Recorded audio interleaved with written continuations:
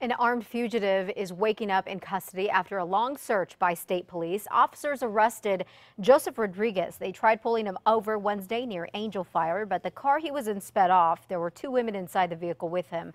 State police ended up finding the car out of gas and with only one of the women inside.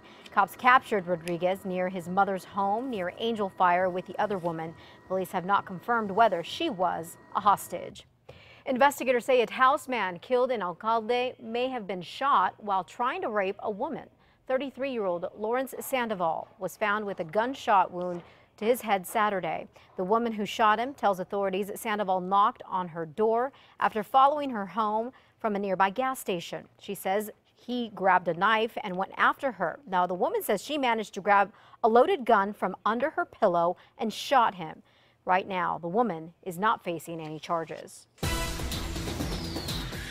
New for you this morning, the man who admits he shot and killed another man in Santa Fe back in 2010 will not be going to prison for it because the Albuquerque Journal is reporting that a jury found Russell Harris here not guilty of second degree murder yesterday. Harris admits that he shot and killed Julian Cordova outside of Cordova's apartment two years ago, but he says he did it in self-defense. The two young men accused in a couple of dangerous robberies in the northern part of the state are behind bars right now. Santa Fe County Sheriff's deputies arrested Stefan Bustamante and Saul Rodriguez last night after they say the two led them on a high-speed chase just outside of Santa Fe.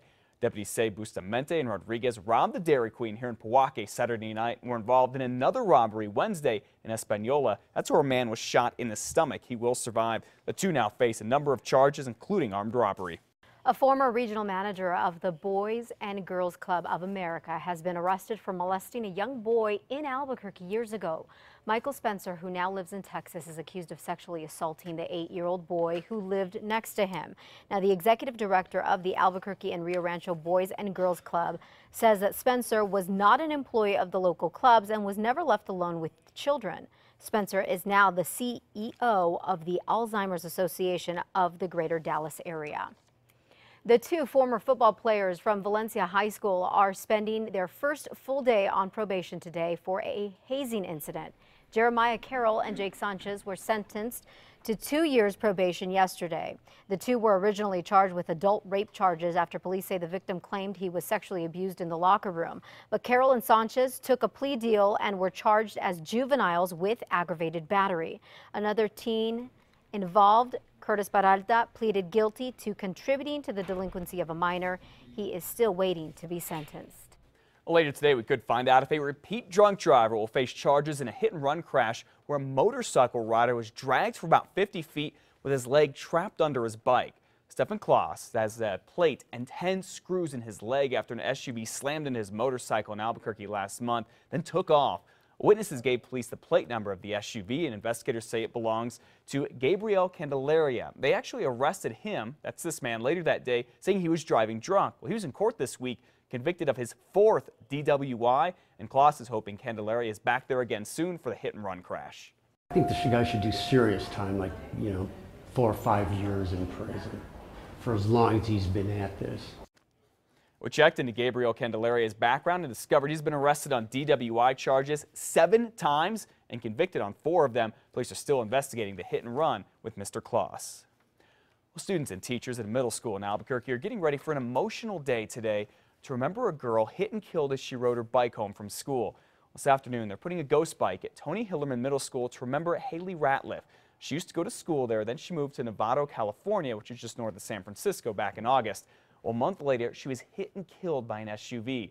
The crash had a big effect on kids and teachers at Hillerman Middle School, and they want to remember Haley and remind everyone to drive safely on the roads.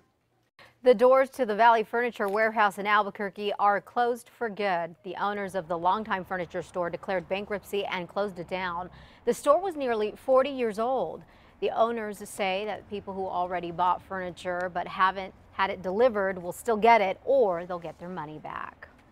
All right, let's go back to talking about the weather. It's going to be a big story today and through the weekend. Meteorologist Kristen Van Dyke has been telling us all week how this weekend Albuquerque and most of New Mexico will see the coldest weather that we have seen since last winter. And this could be extremely dangerous for folks who are trying to stay warm but just aren't careful about it. News 13's David Romero is live in downtown Albuquerque with some tips to keep you and your family safe. And David, we've already seen what can happen when people aren't careful trying to stay warm at home, right? That's exactly right, Matt. It's pretty unfortunate, but we've already seen at least five instances this fall where houses have burned, and that's because of heating problems or people, problems that people have had with heating those homes. Now, we don't want that to happen to you or your family, so here are some tips from firefighters. First, inspect your furnace and make sure it's safe to use during the day when people are home and awake. Now, if there's a problem, you need to call a professional. If you use a wood stove or fireplace, get your chimney inspected every year and cleaned if it's dirty. That soot can catch fire real easy. Also, you want to keep your flue open until the ashes and embers are cool and make sure fires are out before you go to sleep. We see this start a number of house fires every year. And if you're using what could be the most dangerous type of heater is a space heater, make sure it's at least three feet away from anything that can burn, including bedspreads and curtains, and make sure it automatically shuts off if kids bump into it. Now, some of this may seem like common sense, but it could really save your life. The Albuquerque Fire Department is always worried about the citizens firing up their heating sources for the fall winter season. So it's important that um, every citizen gets their heating sources checked by a qualified technician on an annual basis. And another thing that homeowners should be aware of is carbon monoxide poisoning. And of course, uh, you should be using a carbon monoxide detector in the home that can sense those things. Also, if you feel lightheaded or nauseous, which are some of the symptoms that go along with it, you need to get out of the house right away, get some fresh air, and call police. Matt, back to you. I had a very important reminder this morning, David. Thank you. And one more thing make sure you and your family have a plan to evacuate to get out of your house just in case a fire does start there.